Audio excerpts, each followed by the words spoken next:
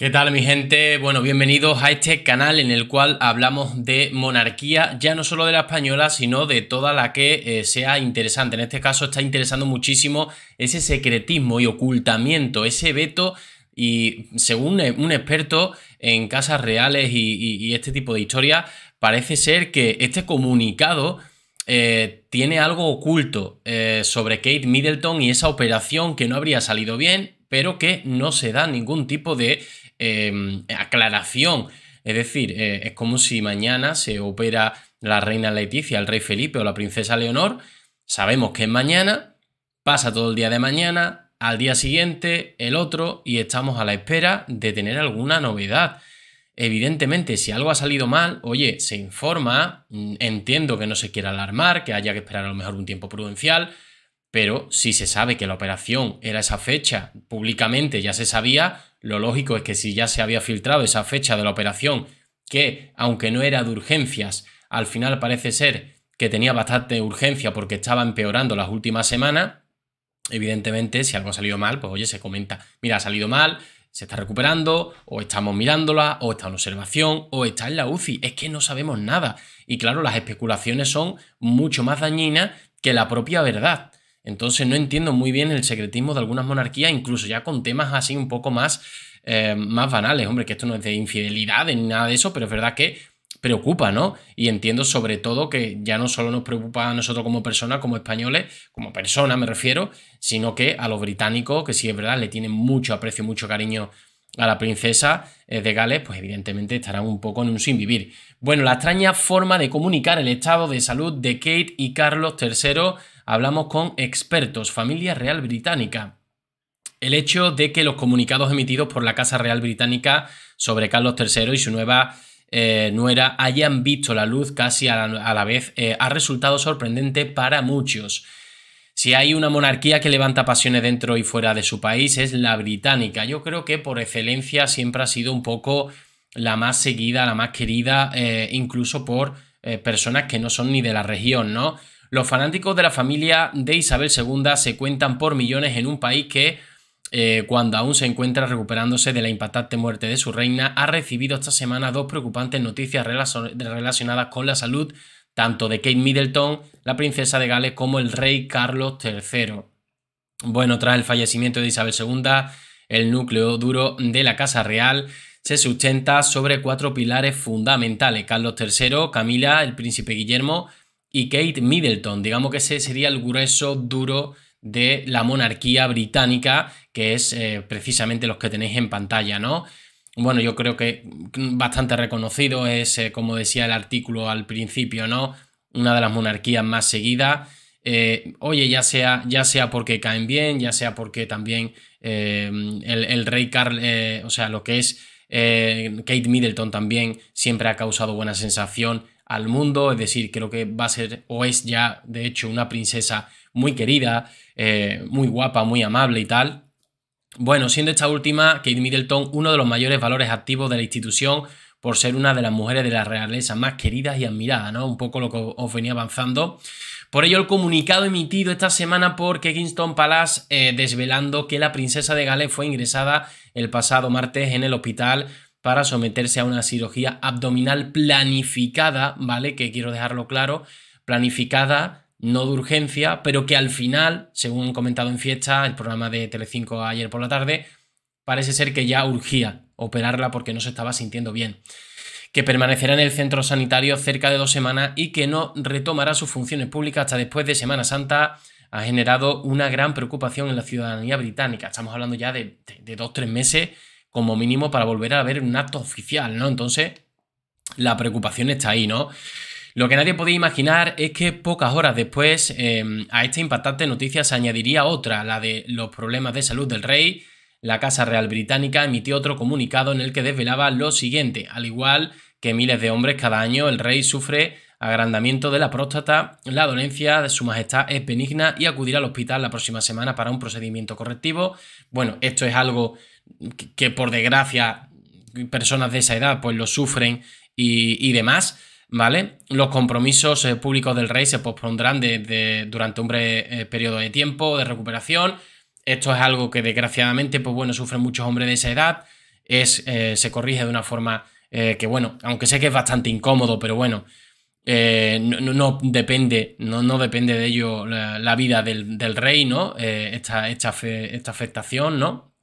Y bueno, los problemas que han rodeado a la monarquía británica en los últimos tiempos, como el de las incendiarias declaraciones realizadas por el príncipe Harry contra su familia o el escándalo del caso Epstein, que han salpicado al príncipe Andrés, han afectado a la buena imagen de la institución. Con Kate Middleton y Carlos III fuera del foco, la cara visible de la monarquía perderá ahora mucho brillo en un momento en el que necesita resplandecer eh, con fuerza. La corona es muy consciente de ello y de la gran preocupación que podían generar los comunicados sobre la salud de ambos en los fanáticos de la familia real británica. Y es que allí hay cierto fanatismo por la monarquía. Aquí no es así. Evidentemente, me diréis algunos. Enrique, pues yo soy fanático, fanática, sí. Pero es, ese fanatismo que hay en el Reino Unido con la monarquía es, eh, es, mm, es, bastante. Es muy, muy. Eh, es muy grande con respecto a aquí en España, por ejemplo, ¿no? Aquí en España se cuentan con los dedos de una mano prácticamente. Porque han emitido ambos comunicados en el mismo día y de manera tan seguida sabiendo el impacto que generaría. ¿Por qué existe tanto mutismo sobre el estado de salud de Kate Middleton y no sobre el de Carlos III, del que se ha desvelado datos mucho más precisos? Fijaros que lo de Carlos III es una minucia, es una chorrada, entre comillas, para que me entendáis. Se va a morir de eso. Eh, se va a recuperar pronto y no es de, gravedad. Y en el tema de Kate Middleton, claro, es que están hablando de que ha salido algo mal en la operación y evidentemente ahí viene un poco el mutismo, ¿no? El hecho de ofrecer el comunicado sobre Carlos III después del de Kate obedece a una estrategia para desviar la atención hacia el foco menos grave. Pues seguramente, seguramente sea para, para que se hable más de Carlos III Em, que del de Kate Middleton y, nos, ha dado, nos ha dado más información. Para contestar estas preguntas desde Vanitatis hemos contactado con tres grandes expertos en comunicación política. Diana Rubio es doctora en ciencias de la comunicación, experta en comunicación y protocolo. En 2017 ganó Napolitan Victory Award, eh, considerado el Oscar de la consultoría. Bueno, ninguna española lo había conseguido. Verónica Crespo, no voy a decir mm, a lo que se ha dedicado cada uno, entendemos que son personas bastante eh, reputadas, y Tony Aira. Bueno, para Rubio resulta sorprendente que nos hayamos enterado de estas dos noticias de una forma tan seguida. Sin embargo, hay un detalle que le hace creer que no hay una estrategia coordinada. El hecho de que el comunicado sobre Kate esté escrito en tiempo pasado y el de Carlos III en tiempo futuro la lleva a pensar que podría haber existido una intención inicial de lanzar la del rey más tarde. Bajo mi punto de vista, la comunicación coordinada en redes sociales que siempre ha llevado Kensington, eh, acorde a la forma de comunicar de la sociedad actual cercana y mostrando estar al tanto de las últimas tendencias, ha eh, acelerado que también se emitiera el comunicado desde Buckingham. Vale, bueno, aquí tenéis el comunicado eh, en inglés, por supuesto. Añade que no creo que estuviesen coordinados como han mostrado siempre ese cuidado de no pisarse. Que lo hagan ahora es porque o bien la publicación de uno ha acelerado la publicación del otro o bien para eh, porque ha sido fruto de la casualidad entre ambas. No piensa igual Crespo, quien no eh, cabida, eh, no da cabida, perdón, a la improvisación y afirma que la Casa Real siempre tiene una estrategia. La duda es si el efecto que ha generado era el esperado. Claro, muchas veces las estrategias que se llevan con los comunicados es, bueno, queremos tener este impacto, este efecto, y luego no es el esperado, ¿vale? Al final se está hablando más de lo que hemos intentado ocultar de una forma ahí un poco Em, descarada y, al final se está hablando más de Kate Middleton que, que, donde queríamos poner el foco, ¿no? La próstata de, del rey Carlos III. En este sentido apunta eh, a la distinta manera eh, que eh, en, que están redactados los comunicados por el hermetismo prácticamente absoluto sobre la intervención de Kate y la información tan clara que se ha ofrecido del rey. Dicen que Middleton siempre ha pasado por una cirugía, pero se cancela toda su agenda hasta Semana Santa y su marido cancela también los actos de la próxima semana para limitar el ruido eh, que se puede generar. La noticia del monarca eh, ofrece todo tipo de detalles y hasta anima a los varones a pasar eh, por controles rutinarios de próstata, pero lejos de limitar el efecto de la primera información con la segunda, la alarma ha sido enorme en la prensa británica. Ya conocemos el talante de los medios sensacionalistas del Reino Unido y hasta se han leído artículos que hablan de que el Estado, el estado se tambalea. Bueno, sabemos que allí el tema de, la prensa Eh, Rosa es muy amarillista, siempre van buscando, dándole la vuelta, eh, ¿no? Para, para crear eh, esa expectación y, que vean los programas y demás. Pero bueno, sí que es cierto que, algo, algo de mutismo está viendo, ¿no? En la misma línea apunta Aira, quien asegura que las casualidades no existen cuando hablamos de comunicación de instituciones tan importantes como la familia real británica y concretamente en el caso de esta Casa Real menos que en otra en la Casa Real eh, que está en los últimos años excediendo lo que es una comunicación con intención, con control en el relato, con una buena combinación de los diferentes canales que tiene y con un control de los tiempos.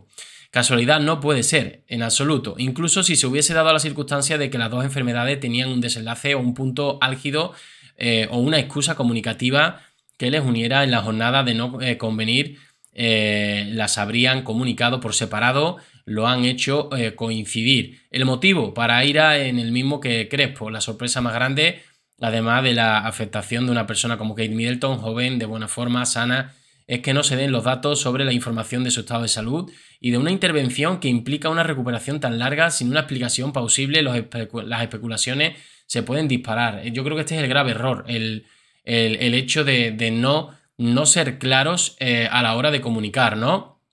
Por último, otro de los expertos, Rubio, eh, también destaca esa diferencia en ambos comunicados. Llama la atención la poca información sobre la operación de Kate, dando pie a muchas especulaciones. Lo que digo, parece, parecen nuevos en esto. Han fallado en esa estrategia comunicativa, sabiendo perfectamente que eso va a, incidir en, que se hable más que menos, ¿no? Pero bueno, en fin, esto es lo que hay. Nada, me gustaría que dejase vuestro comentario. esperemos, por supuesto, que tanto el rey Carlos III como Kate Middleton tengamos información más pronto que tarde. Y por supuesto, aquí os enteraréis de ese estado de salud de última hora. Estaré al tanto de todo. Nos vemos en el siguiente vídeo, mi gente. Un saludo.